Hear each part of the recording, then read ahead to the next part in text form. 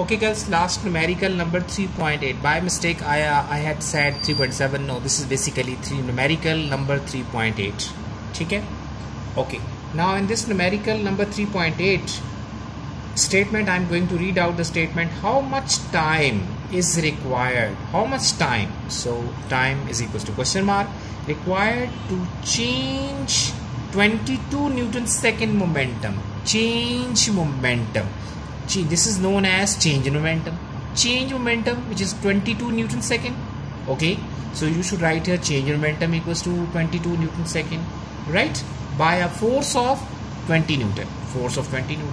As we know that this is basically known as change in momentum divided by t means rate of change in momentum which is equals to applied force f. So change in momentum is given 22 time. We have to find and calculate force 20 so when you take cross multiplication then dividing both sides by 20 so you will get 1.1 second. Very simple and easy. Okay? So now girls you have to prepare these numericals numerical examples or anything that you have done. So you this force and momentum relationship many times examiner has taken in federal board also in Pindi board as a long question. Very important topic girls you have to memorize all these things according to the requirement of your board okay?